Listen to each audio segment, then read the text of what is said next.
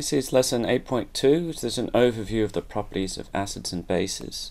Uh, please take your time to read through these. We've mentioned before that the hydrogen ion is actually a hydronium ion and also that uh, things taste sour. These are the main reactions. Acid plus base gives salt and water, acid plus metal gives salt and hydrogen, and acid plus metal carbonate gives salt plus water plus carbon dioxide.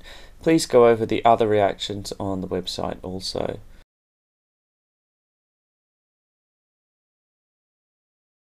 Just a little bit of nomenclature now.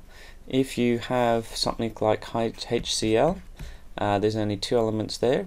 So you start with the hydro, you add the chlorine in there and the ic at the end, so that's hydrochloric acid. If you have three elements, such as uh, H2SO4, don't have the hydro in there, uh, it's a sulfate, so you go the ic. Uh, if it was H2SO3, uh, you would that's a sulfite, uh, so you'd say sulf sulfurous. So that's sulfuric acid and that's sulfurous acid. Try out these ones and see if you can get them correct.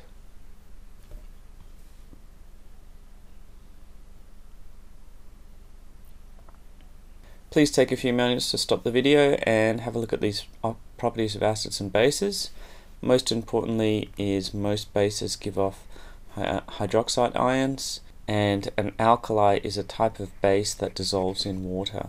Before I finish too, uh, make sure you realize that these reactions are all exothermic.